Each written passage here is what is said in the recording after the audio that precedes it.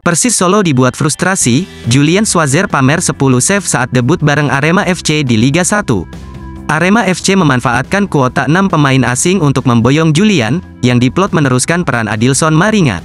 Laga debut Julian terjadi pada pekan kelima Liga 1 2023-2024 di kandang Persis Solo, Minggu tanggal 30 Juli tahun 2023, Persis dan Arema FC harus puas bermain imbang 1-1.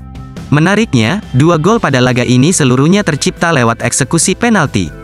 Arema FC unggul lebih dahulu berkat gol Gustavo Almeida di babak pertama.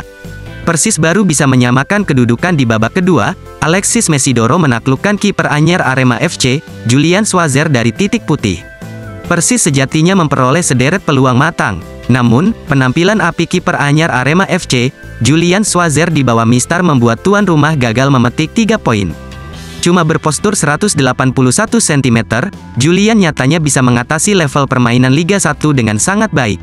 Persis Solo dibuat frustrasi lewat berbagai save-nya, terlebih Arema FC sempat unggul lewat Gustavo Almeida.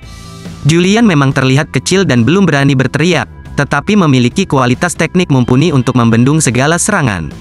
Lapangbola.com mencatat Julian melakukan 10 save pada laga tadi sore. Kecemerlangan Julian hanya dicoreng oleh eksekusi penalti Alexis Mesidoro, memanfaatkan pelanggaran Sembrono Samsudin kepada Fakih Maulana.